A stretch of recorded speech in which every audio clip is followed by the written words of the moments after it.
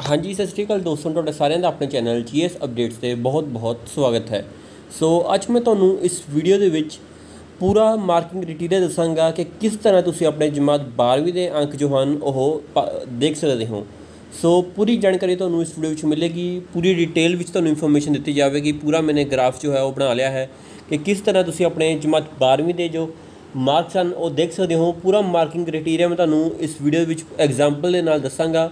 ਸੋ ਤੁਸੀਂ ਇਸ ਵੀਡੀਓ ਨੂੰ ਅੰਤ ਤੱਕ ਜ਼ਰੂਰ ਦੇਖਣਾ ਹੈ ਚੈਨਲ ਦੇ ਪਹਿਲੀ ਵਾਰ ਵਿਜ਼ਿਟ ਕੀਤਾ ਹੈ ਤਾਂ ਚੈਨਲ ਨੂੰ ਜ਼ਰੂਰ ਸਬਸਕ੍ਰਾਈਬ ਕਰ ਲਵੋ। ਇਸੇ ਤਰ੍ਹਾਂ ਹੋਰ ਐਜੂਕੇਸ਼ਨ ਰਿਲੇਟਡ ਵੀਡੀਓ ਸਭ ਤੋਂ ਪਹਿਲਾਂ ਅਤੇ ਸਮੇਂ-ਸਮੇਂ ਸਿਰ ਦੇਖਣ ਲਈ। ਤੇ ਜੇਕਰ ਤੁਹਾਡੇ ਮਨ ਵਿੱਚ ਕੋਈ ਵੀ ਸਵਾਲ ਹੋਵੇ ਇੰਸਟਾਗ੍ਰam ਤੇ ਮੈਸੇਜ ਕਰਕੇ ਪੁੱਛ ਸਕਦੇ ਹੋ। ਜੀਐਸ ਅਪਡੇਟਸ ਤੇ ਇੰਸਟਾਗ੍ਰam ਦੀ ਆਈਡੀ ਹੈ। ਸੋ ਚਲੋ ਦੋਸਤੋ ਵੀਡੀਓ ਸ਼ੁਰੂ ਕਰਦੇ ਹਾਂ। ਸੋ ਜਿਵੇਂ ਤੁਸੀਂ ਸਾਰੇ ਜਾਣਦੇ ਹੋ ਕਿ ਜਮਾਤ 12ਵੀਂ ਦੀਆਂ ਪ੍ਰੀਖਿਆਵਾਂ ਜੋ ਹਨ, ਉਹ ਰੱਦ ਕਰ ਦਿੱਤੀਆਂ ਗਈਆਂ ਸੀ ਤੇ ਮਾਰਕਿੰਗ ਕ੍ਰਾਈਟੇਰੀਆ ਜੋ ਹੈ, ਉਹ ਦੱਸ ਦਿੱਤਾ ਗਿਆ ਹੈ ਕਿਸ ਤਰ੍ਹਾਂ ਜਮਾਤ 12ਵੀਂ ਦੇ ਅੰਕ ਜੋ ਹਨ, ਉਹ ਲਗਾਏ ਜਾਣਗੇ।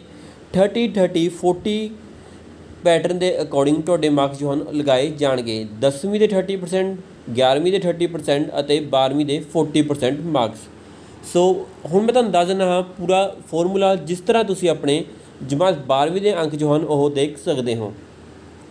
ਤੇ ਨਾਲ ਹੀ ਮੈਂ ਤੁਹਾਨੂੰ ਦੱਸ ਦਵਾਂ ਕਿ ਜੋ ਨਤੀਜਾ ਹੈ ਤੁਹਾਡਾ ਉਹ 31 ਜੁਲਾਈ ਤੋਂ ਪਹਿਲਾਂ ਪਹਿਲਾਂ ਕਨਫਰਮ ਹੋ ਚੁੱਕਾ ਹੈ ਕਿ ਆ ਜਾਵੇਗਾ। ਤੇ ਉਮੀਦ ਇਹੀ ਹੈ ਕਿ ਜੋ ਨਤੀਜਾ ਹੈ ਤੁਹਾਡਾ ਜੁਲਾਈ ਦੇ ਤੀਜੇ ਹਫ਼ਤੇ ਜਾਂ ਫਿਰ ਚੌਥੇ ਹਫ਼ਤੇ ਦੇ ਵਿੱਚ ਦੇਖਣ ਨੂੰ ਮਿਲੇਗਾ। ਸੋ ਦੇਖਣਾ ਇਹ ਹੋਵੇਗਾ ਕਿ ਨਤੀਜਾ ਕਿੰਨੀ ਡੇਟ ਨੂੰ ਜਾਰੀ ਕੀਤਾ ਜਾਂਦਾ ਹੈ। ਪੀਐਸਸੀਬੀ ਵੱਲੋਂ ਸੀਬੀਐਸਈ ਵੱਲੋਂ, ਲੇਕਿਨ ਇਹ ਕਨਫਰਮ ਹੈ ਕਿ 31 ਜੁਲਾਈ ਤੋਂ ਪਹਿਲਾਂ ਤੁਹਾਡਾ ਰਿਜ਼ਲਟ ਜੋ ਹੈ, ਉਹ ਜਾਰੀ ਕਰ ਦਿੱਤਾ ਜਾਵੇਗਾ। ਸੋ ਚਲੋ ਹੁਣ ਆਪਾਂ ਦੇਖ ਲੈਂਦੇ ਹਾਂ ਕਿ ਕਿਸ ਤਰ੍ਹਾਂ ਤੁਹਾਡੇ ਮਾਰਕਸ ਜੋ ਹਨ ਲਗਾਏ ਜਾਣਗੇ। ਸੋ ਪਹਿਲਾਂ ਆਪਾਂ ਕਲਾਸ 10th ਦੇ ਦੇਖ ਲੈਂਦੇ ਹਾਂ। ਮੈਕਸਿਮਮ ਮਾਰਕਸ ਆਪਾਂ ਨੇ 80 ਰੱਖੇ ਨੇ ਤੇ ਕੰਪੋਨੈਂਟ ਹੈ 30% ਮਾਰਕਸ ਸੋ 30% ਜਮਾਤ 10ਵੀਂ ਦੇ ਅੰਕ ਜੋ ਹਨ ਲਗਾਏ ਜਾਣਗੇ। ਸੋ 5 ਸਬਜੈਕਟਸ ਮੈਨੇ ਐਗਜ਼ਾਮਪਲ ਦੇ ਤੌਰ ਤੇ ਲਏ ਨੇ ਤੁਹਾਡੇ ਮਾਰਕਸ ਹੈ 5 ਸਬਜੈਕਟ ਦੇ ਵਿੱਚੋਂ ਜਿਵੇਂ ਕਿ 1 2 3 4 5 ਸਬਜੈਕਟਸ ਨੇ ਤੇ ਇਸ ਦੇ ਮਾਰਕਸ 70 65 80 60 65 ਸੋ ਇਸ ਦੇ ਵਿੱਚੋਂ ਆਪਾਂ ਨੇ ਬੈਸਟ 3 ਚੂਜ਼ ਕਰ ਲੈਣੇ ਨੇ ਜਿਵੇਂ ਕਿ 70 80 ਅਤੇ 65 ਸੋ ਜੋ ਪੰਜਾਂ ਵਿੱਚੋਂ ਬੈਸਟ ਮਾਰਕਸ ਨੇ ਉਹ ਆਪਾਂ ਨੇ ਚੂਜ਼ ਕਰ ਲੈਣੇ ਨੇ ਤੁਸੀਂ ਆਪਣੇ ਸਬਜੈਕਟ ਦੇ ਅਕੋਰਡਿੰਗ ਦੇਖ ਸਕਦੇ ਹੋ, ਮੈਂ ਐਗਜ਼ਾਮਪਲ ਦੇ ਤੌਰ ਤੇ ਤੁਹਾਨੂੰ ਮੈਂ ਦੱਸ ਰਿਹਾ ਹਾਂ, ਤੁਸੀਂ ਵੀ ਆਪਣਾ ਇਸੇ ਮੈਥਡ ਨਾਲ ਦੇਖ ਸਕਦੇ ਹੋ। ਸੋ ਆਪਾਂ ਨੇ ਬੈਸਟ ਇਸ ਦੇ ਵਿੱਚੋਂ ਚੂਜ਼ ਕਰ ਲੈਣੇ 70 80 ਅਤੇ 65 ਸੋ ਇਸ ਨੂੰ ਆਪਾਂ ਨੂੰ ਪਲੱਸ ਕਰ ਲੈਣਾ ਹੈ ਤੇ ਟੋਟਲ ਹੋ ਚੁੱਕਾ ਹੈ 215 ਮਾਰਕਸ ਸੋ 215 ਨੂੰ 3 ਤੇ ਡਿਵਾਈਡ ਕਰ ਦੇਣਾ ਹੈ। ਸੋ ਆਪਣੇ ਕੋਲ ਆ ਜਾਂਦੇ ਨੇ 71.66 ਦੋਸਤੋ, ਅਨਕੈਡਮੀ ਲੈ ਕੇ ਆਇਆ ਹੈਡ ਸਟਾਰਟ ਟੂ ਨੀਟ 2023 जिसमें आपको five previous days fifteen top educators fifteen top sessions आपको मिलेंगे, जो कि 28 जून से शुरू होने वाला है और इसमें आप फ्री में एनरोल कर सकते हैं। और साथ में path finders early board mock test for NEET three third जुलाई को 6 पीएम से लेकर 9 पीएम तक लिया जाएगा, जिसमें आप फ्री में एनरोल कर सकते हैं। और साथ में नीट यूजी का प्लस सब्सक्रिप्शन मात्र तीन हज़ार दो सौ आठ रुपये पर मंथ पे करके आप हासिल कर सकते हैं। और अगर आपको फाइनेंशियल असिस्टेंस चाहिए सब्सक्रिप्शन के लिए तो डिस्क्रिप्शन में फॉर्म दिया हुआ है, आप डायरेक्टली अन अकेडमी से फाइनेंशियल असिस्टेंस भी हासिल कर सकते हैं। और साथ में limited time offer for NEET U G aspirants के लिए चल रहा है। अगर आप अन अकेडमी आइकॉनिक को सब्सक्राइब करते हैं तो आपको अन अकेडमी स्टडी नोट्स आपके डोर स्टेप तक डिलीवर किए जाएँगे, जो कि ऑफ़र वैलिड है ट्वेंटी फ़र्स्ट जून से लेकर थर्टी जून तक। जल्दी से सब्सक्राइब कर लीजिए अन अकेडमी आइकॉनिक नीट और साथ में ये कुछ बम्पर ऑफ़र भी चल रहे हैं, जिसमें आप अच्छा फ़ायदा उठा सकते हैं। सो जल्दी से इन बम्पर ऑफ़र का लाभ उठाइए और अपने सपने को हकीकत में बदलिए। वन और ये कुछ बैचेज हैं NEET U G two thousand twenty one NEET U G two thousand twenty two और NEET U G two thousand twenty three जिसमें आप एनरोल कर सकते हैं और साथ में India speaker weekly scholarship test Unacademy के ओर से हर संडे को लिया जाता है अन अकेडमी कॉम्बैट जिसमें आप मेरा कोड यूज़ करके फ्री में एनरोल कर सकते हैं जी एस अपडेट्स टेन मेरा कोड है और अच्छी स्कॉलरशिप आप हासिल कर सकते हैं link in description so thirty percent अपा निकाल लेना है seventy one point six six का so total twenty one point five percent जो मार्क्स ने अपने जमात दसवीं ਦੇ ले ਜਾਣਗੇ ਸੋ ਬਿਲਕੁਲ ਇਸੇ ਤਰ੍ਹਾਂ ਤੁਸੀਂ ਆਪਣੇ ਅੰਕ ਜੋ ਹਨ ਦੇਖ ਸਕਦੇ ਹੋ ਪਹਿਲਾਂ ਤੁਸੀਂ ਆਪਣੇ ਸਬਜੈਕਟ ਲਿਖ ਲੈਣੇ ਨੇ ਤੇ ਉਸ ਦੇ ਵਿੱਚੋਂ ਕਿੰਨੇ ਕਿੰਨੇ ਮਾਰਕਸ ਆਏ ਨੇ, ਉਹ ਲਿਖ ਲੈਣੇ ਨੇ ਤੇ ਜੋ ਤੁਹਾਡੇ ਬੈਸਟ 3 ਨੇ, ਉਹਨਾਂ ਨੂੰ ਪਲੱਸ ਕਰ ਲੈਣਾ ਹੈ ਤੇ ਉਸ ਨੂੰ 3 ਤੇ ਡਿਵਾਈਡ ਕਰ ਲੈਣਾ ਹੈ ਕਿਉਂਕਿ ਆਪਣੇ 3 ਸਬਜੈਕਟ ਦੇ ਮਾਰਕਸ ਦੇਖੇ ਨੇ ਇਸ ਦੇ ਵਿੱਚ। ਸੋ ਜੋ 3 ਤੇ ਡਿਵਾਈਡ ਕਰਕੇ ਜੋ ਤੁਹਾਡਾ ਰਿਜ਼ਲਟ ਨਿਕਲੇਗਾ ਉਸ ਨੂੰ ਤੁਸੀਂ 30% ਦੇ ਉੱਪਰ ਕਰ ਦੇਣਾ ਹੈ। ਸੋ ਟੋਟਲ 21.5 ਆਪਣੇ ਕਲਾਸ 10th ਦੇ ਬਣ ਚੁੱਕੇ ਨੇ ਤੇ ਹੁਣ ਆਪਾਂ ਦੇਖੀਏ ਕਲਾਸ 11 ਦੇ। ਸੋ ਕਲਾਸ 11 ਦੇ ਵੀ ਮੈਕਸਿਮਮ ਮਾਰਕਸ 80 ਨੇ। ਕੰਪੋਨੈਂਟ 30% ਦਾ ਹੈ ਕਿਉਂਕਿ 30% ਮਾਰਕਸ ਜੋ ਆਪਾਂ ਨੇ ਜਮਾਤ 11ਵੀਂ ਦੇ ਵਿੱਚੋਂ ਵੀ ਮਿਲਣਗੇ ਆਪਾਂ ਨੂੰ। ਸੋ ਇਸੇ ਤਰ੍ਹਾਂ ਮੈਨੇ ਇਸ ਦੇ ਵਿੱਚ ਵੀ 5 ਸਬਜੈਕਟਸ ਲਿਖਨੇ ਹਨ। ਤੇ ਮਾਰਕਸ ਮੈਂ ਕੁਝ ਦੱਸ ਦਿੰਦਾ ਹਾਂ 50 75 55 65 75 ਸੋ ਇਸ ਤਰ੍ਹਾਂ ਮੈਨੇ ਐਗਜ਼ਾਮਪਲ ਦੇ ਤੌਰ ਤੇ ਮਾਰਕਸ ਲਿਖ ਦਿੱਤੇ ਹਨ।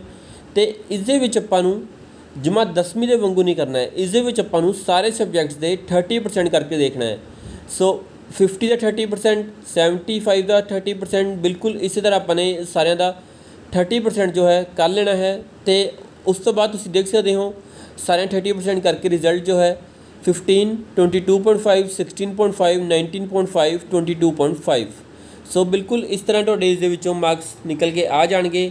ਤੇ ਹੁਣ ਜੇਕਰ ਤੁਹਾਡਾ ਸਵਾਲ ਹੋਵੇਗਾ ਕਿ ਇਸ ਦੇ ਜੋ ਜਮਾਤ 11ਵੀਂ ਹੈ, ਇਸ ਦੇ ਵਿੱਚ ਤੁਸੀਂ ਸਾਰੇ ਸਬਜੈਕਟਸ ਦਾ ਕਿਉਂ ਲਿਆ ਹੈ? ਕਿਉਂਕਿ 10ਵੀਂ ਦੇ ਵਿੱਚ ਤਾਂ ਕੋਈ ਤਿੰਨ ਜਿਸ ਦੇ ਵਿੱਚ ਜ਼ਿਆਦਾ ਮਾਰਕਸ ਸੀਗੇ, ਉਹ ਇਨਕਲੂਡ ਕੀਤੇ ਸੀ ਤੇ ਇਸ ਦੇ ਵਿੱਚ ਸਾਰੇ ਸਬਜੈਕਟਸ ਕਿਉਂ ਗਏ ਹਨ। ਸੋ ਮੈਂ ਤੁਹਾਨੂੰ ਦੱਸ ਦਵਾਂ, ਜੋ ਸਬਜੈਕਟ ਜਮਾਤ 11ਵੀਂ ਦੇ ਵਿੱਚ ਹੁੰਦੇ ਹਨ, ਵਿਦਿਆਰਥੀ ਕੋਲ ਉਹੀ ਸਬਜੈਕਟ ਜਮਾਤ 12ਵੀਂ ਦੇ ਵਿੱਚ ਵੀ ਕੰਟੀਨਿਊ ਕਰਦਾ ਹੈ ਵਿਦਿਆਰਥੀ। ਸੋ ਜਮਾਤ 11ਵੀਂ ਦੇ ਸਾਰੇ ਸਬਜੈਕਟਸ ਦੇ ਮਾਰਕਸ ਇਸ ਦੇ ਵਿੱਚ ਇਨਕਲੂਡ ਕੀਤੇ ਗਏ ਹਨ।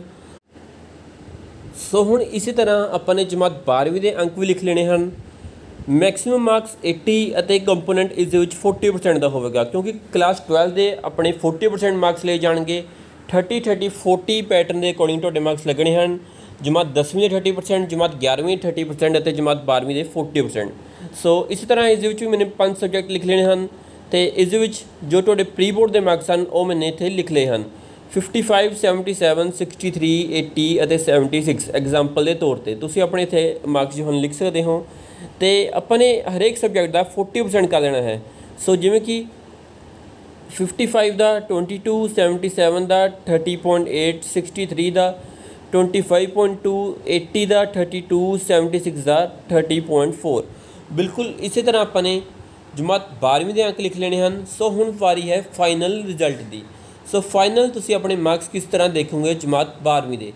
ਮੈਕਸਿਮਮ ਮਾਰਕਸ 80 ਕੰਪੋਨੈਂਟ 30% ਸੋ ਇੱਥੇ ਆਪਾਂ ਨੇ ਸਾਰੇ ਸਬਜੈਕਟਸ ਜਿਵੇਂ ਕਿ ਪੰਜ ਸਬਜੈਕਟ ਮੈਨੇ ਐਗਜ਼ਾਮਪਲ ਤੌਰ ਤੇ ਲਏ ਸੀ ਸੋ ਸਾਰਿਆਂ ਨੇ ਮਾਰਕਸ ਲਿਖ ਲੈਣੇ ਹਨ। ਉਸ ਤੋਂ ਬਾਅਦ ਕਲਾਸ 10th ਦੇ ਆਪਣੇ ਕੋਲ ਪਰਸੈਂਟੇਜ ਨਿਕਲ ਕੇ ਆਈ ਸੀ 21.5 ਮੈਂ ਤੁਹਾਨੂੰ ਦਿਖਾ ਵੀ ਦਿੰਦਾ ਹਾਂ। ਸੋ ਦੇਖ ਸਕਦੇ ਹੋ ਤੁਸੀਂ, ਆਪਣੇ ਕੋਲ ਫਾਈਨਲ ਜੋ ਰਿਜ਼ਲਟ ਹੈ 21.5% ਨਿਕਲ ਕੇ ਆਇਆ ਸੀ। ਸੋ ਹਰੇਕ ਦੇ ਵਿੱਚ ਆਪਾਂ ਨੇ ਕਲਾਸ 10 ਦੇ 21.5 21.5 ਇਸ ਤਰ੍ਹਾਂ ਲਿਖ ਲੈਣੇ ਹਨ। ਤੇ ਉਸ ਤੋਂ ਬਾਅਦ ਵਾਰੀ ਹੈ ਕਲਾਸ 11th ਦੀ। ਸੋ ਕਲਾਸ 11 ਦਾ ਮੈਂ ਤੁਹਾਨੂੰ ਦੱਸ ਦਿੰਦਾ ਹਾਂ। ਦੇਖ ਸਕਦੇ ਹੋ 30% ਆਫ ਈ ਸਬਜੈਕਟ ਦੇ ਵਿੱਚ 15 22.5 ਬਿਲਕੁਲ ਇਸੇ ਤਰ੍ਹਾਂ ਜੋ ਆਪਣਾ ਰਿਜ਼ਲਟ ਨਿਕਲ ਕੇ ਆਇਆ ਸੀ, ਉਹ ਤੁਸੀਂ ਕਲਾਸ 11 ਦੀ ਜਗ੍ਹਾ ਤੇ ਭਰ ਦੇਣਾ ਹੈ। ਤੇ ਕਲਾਸ 12 ਦੀ ਜਗ੍ਹਾ ਤੇ ਕਲਾਸ 12 ਦੇ ਭਰ ਦੇਣੇ ਹਨ, ਜੋ ਕਲਾਸ 12 ਦੇ ਮਾਰਕਸ ਨਿਕਲ ਕੇ ਆਏ ਸੀ 22 30.8 ਬਿਲਕੁਲ ਇਸੇ ਤਰ੍ਹਾਂ ਤੁਸੀਂ ਇੱਥੇ ਭਰ ਦੇਣਾ ਹੈ। ਤੇ ਉਸ ਤੋਂ ਬਾਅਦ ਤੁਸੀਂ ਟੋਟਲ ਕਰ ਲੈਣਾ ਹੈ। ਜੋ ਤੁਹਾਡੇ ਜਮਾਤ 10ਵੀਂ ਦੇ ਅੰਕ ਲਿਖੇ ਹਨ 11ਵੀਂ ਦੇ ਲਿਖੇ ਹਨ ਅਤੇ ਜਮਾਤ 12ਵੀਂ ਦੇ ਲਿਖੇ ਹਨ। ਸੋ ਉਸ ਦਾ ਟੋਟਲ ਤੁਸੀਂ ਕਰ ਲੈਣਾ ਹੈ, ਜਿਵੇਂ ਕਿ ਜਮਾਤ 10ਵੀਂ ਦੇ 21.5 15 ਅਤੇ 22 ਸੋ ਇਸ ਦਾ ਟੋਟਲ ਬਣਿਆ ਹੈ 58.5 ਸੋ ਇਸੇ ਤਰ੍ਹਾਂ ਤੁਸੀਂ ਸਾਰੇ ਟੋਟਲ ਕਰ ਲੈਣੇ ਹਨ ਤੇ ਉਸ ਤੋਂ ਬਾਅਦ ਤੁਸੀਂ ਇਸ ਦਾ ਅਪਰੋਕਸ ਨਿਕਾਲ ਲੈਣਾ ਹੈ। ਜਿਵੇਂ ਕਿ 58.5 ਨੂੰ ਆਪਾਂ 59 ਲਿਖ ਲੈਂਦੇ ਹਾਂ 74.8 ਨੂੰ ਆਪਾਂ 75 ਲਿਖ ਲੈਂਦੇ ਹਾਂ।